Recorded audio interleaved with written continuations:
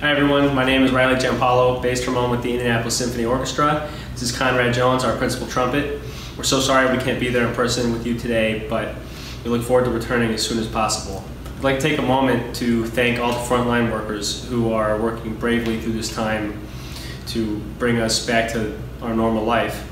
We're very grateful for each and every one of you. We have prepared for you a little kind of a fun video actually, hopefully to bring some levity into your day. This is a piece entitled Slow Rag by Arthur Frackenpohl. It's actually one of the first duo tunes that we ever played together almost four years ago now. Uh, we got a little fancy with the video editing, so hopefully it doesn't look too weird on your TVs, but uh, we hope you guys enjoy. Hope to see you in person soon, and then stay safe.